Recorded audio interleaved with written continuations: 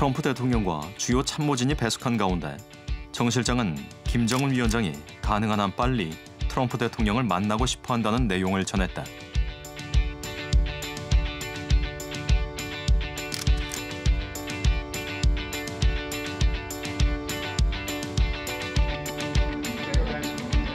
김정은의 제안에 트럼프 대통령은 파격적인 대답을 내놓았다. 회담 45분 만에 내린 결정이었다.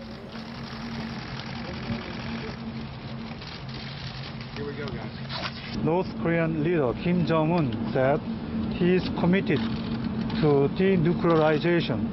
Kim pledged that North Korea will refrain from any further nuclear or missile tests.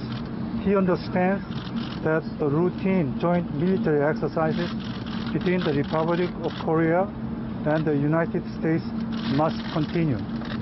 And he expressed his eagerness to meet President Trump as soon as possible. President Trump appreciated the briefing and said he would meet Kim Jong-un by May. Tonight, 백악관 출입 기자들은 충격을 감추지 못했다.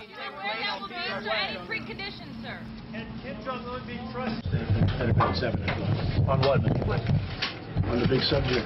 Mr. President. On North Korea? On North Korea or on trade? Okay. On North Korea or on trade? Did you speak today with the? Mr. President, you win the Nobel Prize. You win the Nobel Prize, please. You win the Nobel Prize, Mr. President. Whoa, whoa, Sam.